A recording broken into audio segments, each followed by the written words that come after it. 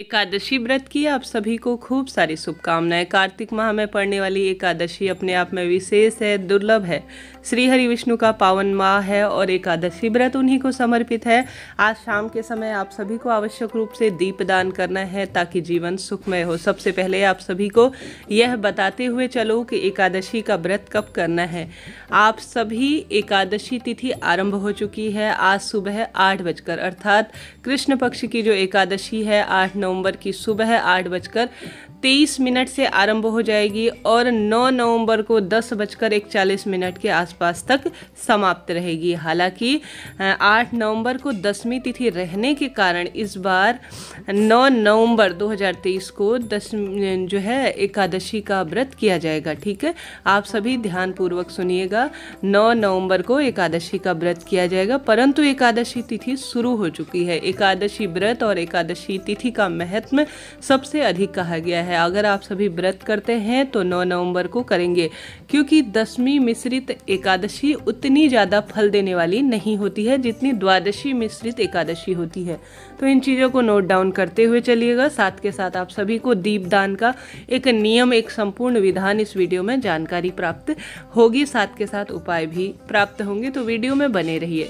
अब एकादशी व्रत करना जितना महत्वपूर्ण है, व्रत का पारण भी उतना ही महत्वपूर्ण है। तो आप सभी आवश्यक रूप से नौ नवंबर दिन गुरुवार के दिन व्रत करने के साथ साथ दस नवंबर को सुबह छः बजकर उनतालीस मिनट से लेकर आठ बजकर पचास मिनट तक अपने व्रत को खोल लीजिएगा। ठीक है? पारण का सही समय यही है।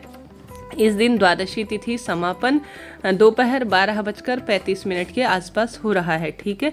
इन चीज़ों को नोट डाउन करते हुए चलिएगा ताकि आप सभी को संपूर्ण रूप से अगर एकादशी व्रत का जो है परिपूर्ण फल सही नियम के तहत किया जाना आवश्यक है। एकादशी व्रत करने में हरिवासर का समय देखा जाता है, द्वादशी तिथि देखी जाती है, दसवीं तिथि देखी जाती है, जिसके जो है जिसमें व्रत खोलना और व्रत करने का नियम निर्धारित होता है। तो आप सभी, वही मैं आपके लिए वीडियो यह लेकर आई हूँ, जिसमें संपूर्ण चीज़ें नियम के तहत बताई गई है। अब जानते हैं सर्वश्रेष्ठ उपाय।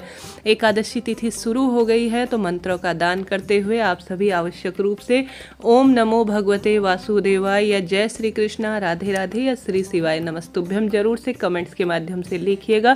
साथ के साथ आप 108 बार ओम नमो भगवते वासुदेवाय महामंत्र का जाप भी आप सभी कर सकते हैं। मेरे साथ आप सभी बोलिए, श्री कृष्ण गोविंद हरे मुरारी, हे नाथ नारायण वासुदेव और साथ के साथ आप सभी महादेव का भी स्मरण कीजिएगा। अब जानते हैं उपाय करना। दीपदान सबसे प्रथम है तो वही उपाय आपको बताना चाहूँगी।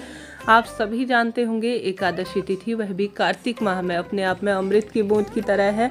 आज आप सभी को आवश्यक रूप से विशेष दीपदान करना है।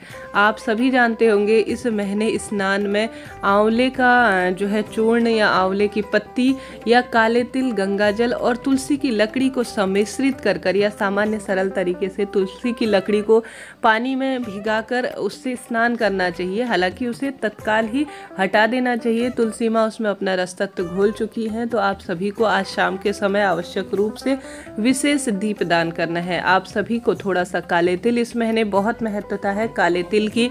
चाहे तो सफ़ेद तिल भी प्रयोग में ले सकते हैं, आप सभी को दीप दान करना है। आवश्यक रूप से आप सभी को एक दीपक काले तिल मिलाकर श्री शिवाय नमस्तुभ्यम या ओम नमो भगवते वासुदेवाय महामंत्र का जाप करते हुए पीपल वृक्ष की जड़ में समर्पित करना है। स्वयं श्री कृष्ण कहते हैं, वृक्षों में मैं पीपल हूँ तो आप सभी को पीपल वृक्ष की जड़ में घी का दीपक श्री हरि विष्णु के निमित्त थोड़ा सा काले तिल मिलाकर समर्पित करने से दुख, दरिद्रता का नाश हो जाता है। साथ के साथ आप सभी को आवश्यक रूप से आप शाम के समय माँ तुलसी के निमित्त भी दीपदान करना चाहिए, जिससे कि संपूर्ण फलों की आपको प्राप्ति हो।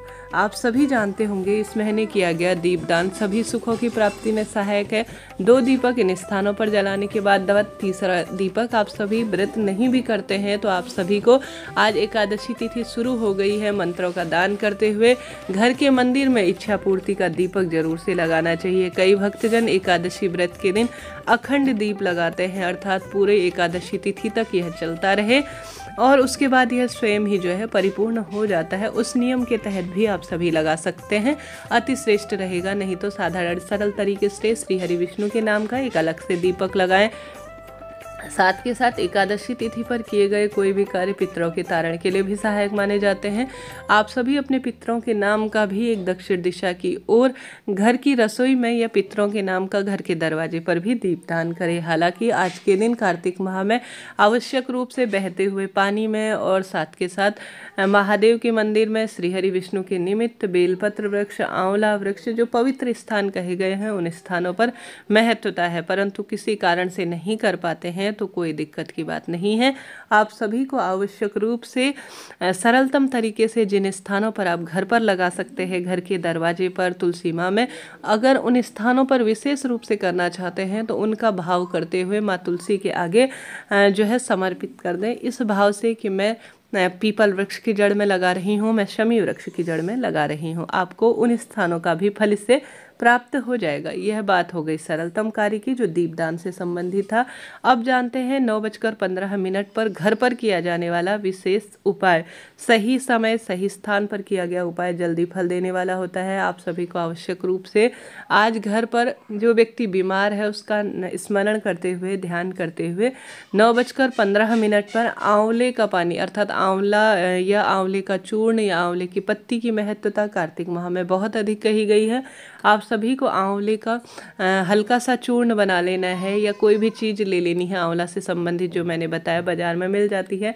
जल के लोटे में डालकर श्री शिवाय नमस्तुभ्यम कहते हुए नौ बजकर पंद्रह मिनट के खास समय पर उस व्यक्ति का जो बीमार रहता है, शिवलिंग का अभिषेक करने से उसके समस्त पाप कट जाते हैं और उसका तुरंत रोगों शोकों से नाश होता है और जीवन उसका रोग मुक्त होता चला जाता है। शाम के समय कीजिएगा, लाभ होगा।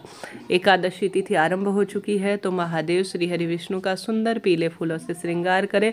दुख दरिद्रता का नाश होगा, कष्ट मिटेंगे और सब कार्य बनना आरंभ हो जाएँगे। कार्य सरल है, छोटा सा है, परंतु लाभ अनगिनत है। इसके साथ साथ गुरु जी कहते हैं, जब एकादशी हो तो गंगा के जल में सात बेलपत्र डालकर, कितनी? सात बेलपत्र गंगाजल में डालकर शिव मंदिर चले जाएँ। आप सभी शिव मंदिर जाकर सात बेलपत्र तो शिवलिंग के ऊपर समर्पित करें और गंगाजल जो कि पितरों का तारण करने और हमारे द्वारा हुई भूल चूक की गलती को माफ़ करने के लिए होता है, नंदी महाराज के उठे हुए पैर पर इस पवित्र महीने की एकादशी पर समर्पित कर देते हैं तो तत्काल ही परेशानियाँ मिटकर जीवन में सब सुख प्राप्त हो जाते हैं। तो शाम के समय आप सभी को आवश्यक रूप से यह कार्य करना है। सब कार्य बनने आरंभ हो जाएँगे। साथ के साथ इच्छा पूर्ति का दीपक आप सभी को ज़रूर से आज जलाना है।